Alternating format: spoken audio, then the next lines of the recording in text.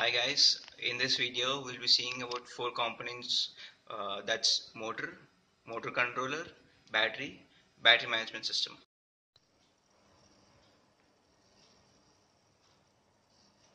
As you can see the motors have initially divided into two that's DC and AC. DC stands for direct current and AC stands for alternating current.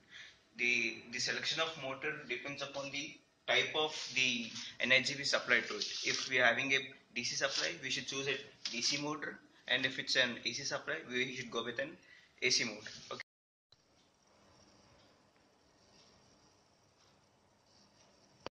Now we'll see different motors in DC motor. Yeah, basically DC motors are divided into different kinds. That's shunt wound, compound wound, series wound, servo motor, and uh, brushless DC motor shunt wound and compound wound is nothing but uh, in a motor you have a rotor and then uh, excite, uh, exciting winding. If the winding is in parallel to your rotor, then it's shunt. If it's in series with your rotor, it's a series. And if you have both series as well as parallel, then we call it as compound wound. Okay. But in electric cars, these uh, three are not majorly used because of its low efficiencies and other uh, factors. Uh, the major motor that we use in uh, DC is brushless DC motor. Now we'll see the functionality of brushless DC motor.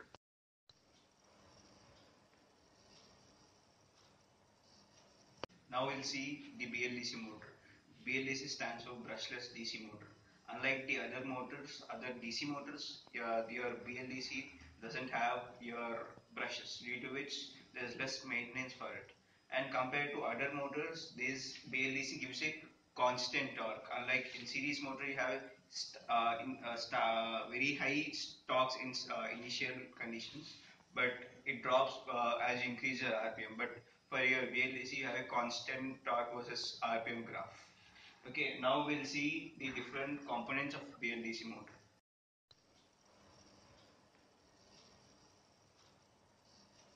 Uh, the components of BLDC are stated in your rotor. Your rotor is fixed with a permanent magnet and uh, there is no need of energizing your rotor because it's, as it's a permanent magnet it has its own magnetic field. For providing uh, for your motor to run uh, there should be another magnetic field that interact with the rotor magnetic field so that there's a unidirectional torque being produced. Okay. Uh, the stator has three windings. The secondary magnetic field which has which has to interact with your rotor is being provided by a stator. The three windings are being energized by your motor controller taking data from your Hall sensor. This Hall sensor is already integrated to your BLDC motor. Without this Hall sensor, your BLDC motor doesn't work because the Hall sensor gives the position of your rotor to your motor controller and depending upon the position, the three any two windings of these stator are will be energized and the magnetic field that is being produced with this stator windings interact with your already existing rotor magnetic field and produce a unidirectional torque.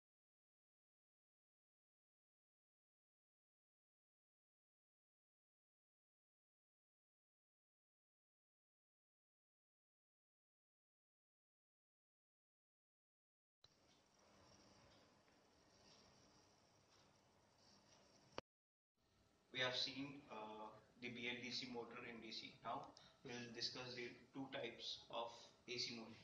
Okay, there are two classification of AC motor: induction motor and synchronous motor. Synchronous mode we call this kind of motor synchronous uh, motor because they only run at synchronous speed. But whereas your induction motor will run less than your synchronous speed. Now we'll discuss the construction and uh, principle of operation of induction motor.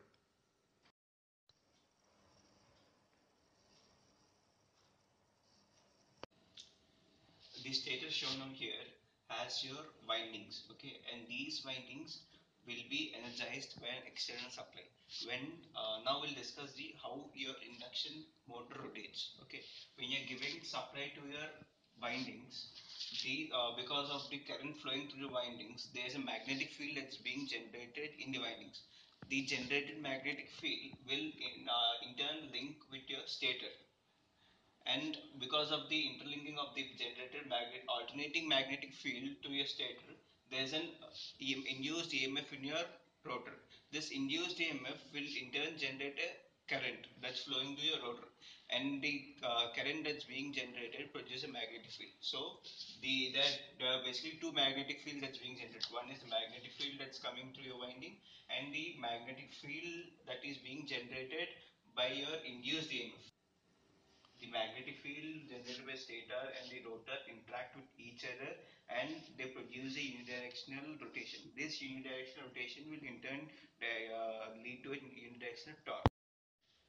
This is how the induction motor works. Till now we have seen how a BLDC motor works and its operation and uh, induction motor and its operation. Next we'll be seeing the motor controller and how it works. Now we'll see the motor controller.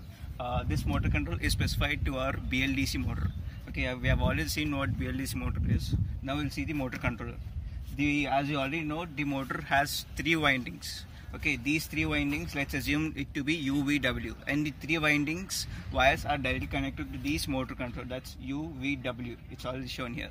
And this has and the, uh, the motor controller already has two more terminals. One is that goes to battery positive the other goes to battery negative. And this one is your fuse. It's uh, this fuse is rated for 150 ampere and uh, it differs uh, to the kind of how much current is drawn from your battery. It might be 100 ampere, it might be even 200 ampere. Depends and differs from each case.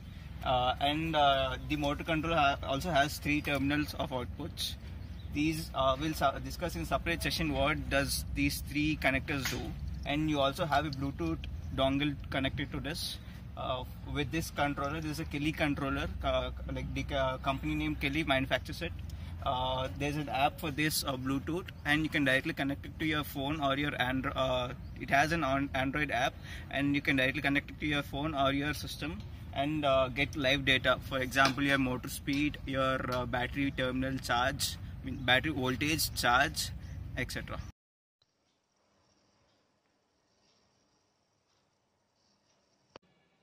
A battery consists of three major components that is the anode, cathode and the electrolyte. An anode, which is also called as the negative terminal of a battery, is the source of electrons. The cathode is called as the positive terminal and the electrolyte is the conducting medium for those electrons. Now, uh, at the anode, the generation of electrons takes place, whereas the electrolyte uh, uh, here, as we can see, which is a combination of uh, manganese and ammonium chloride, is nothing but uh, a medium which helps in the movement of ions and thus helps in production of electrons. Uh, the typical direction of the flow of electrons is from anode to cathode. That is, the uh, at, at, at the anode, the electrons are generated and since they are negatively charged, they have a tendency to move towards the positive terminal.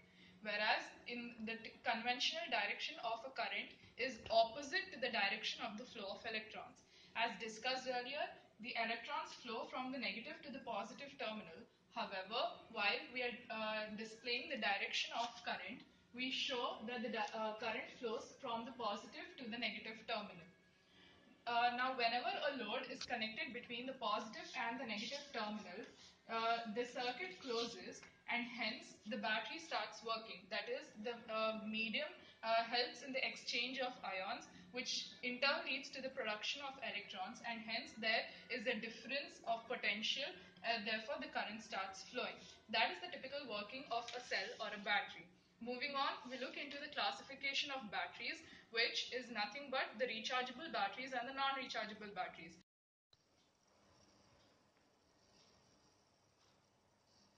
The non-rechargeable batteries are also called as the primary batteries. They are named as non-rechargeable because the chemical reactions which take place in a battery uh, cannot be reversed in non-rechargeable batteries. Hence, once the chemical reactions are exhausted, such batteries stop powering the load. However, in the rechargeable batteries, the uh, chemical reactions can be reversed with the help of providing a current to the battery. The, uh, the rechargeable batteries, example lead acid or lithium ion batteries are in wide range, uh, find a wide range application in electrical vehicles. However, the uh, lithium ion batteries are more in use because of its higher efficiency when compared to the lead acid battery.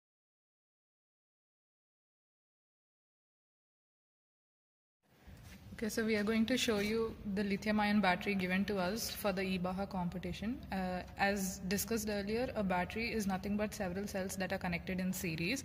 So, uh, this over here, there are uh, four cells of 12 volts each that are connected in series, which gives us a total of 48 volts. And this is the battery management system, which helps us to uh, control several parameters such as the battery voltage terminals, which we will talk about later. What exactly does a battery management system do? And apart from that, uh, uh, as we can see, these are the two terminals of the battery, the red being the positive and the black being the negative. These are the two terminals which go to the motor controller uh, at the respective places.